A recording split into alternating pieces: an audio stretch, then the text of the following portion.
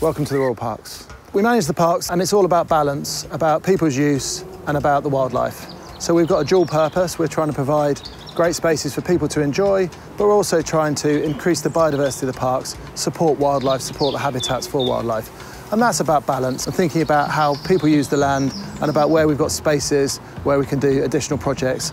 A lot of the habitat creation has been supported through the People's Postcode Lottery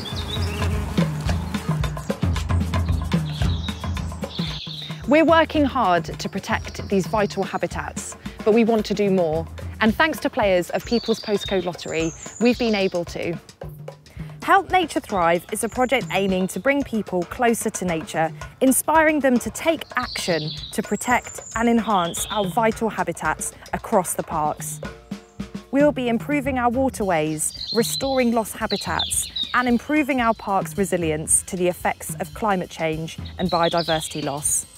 We will be bringing people on this journey with us by holding events and engaging with schools, local communities and the wider public along the way to ensure they feel empowered to help nature thrive. We have 5,000 acres of land that we are managing and we want to make sure we're enhancing each acre of land that we can. So a huge thank you to the players of the People's Postcode Lottery for supporting this really important project.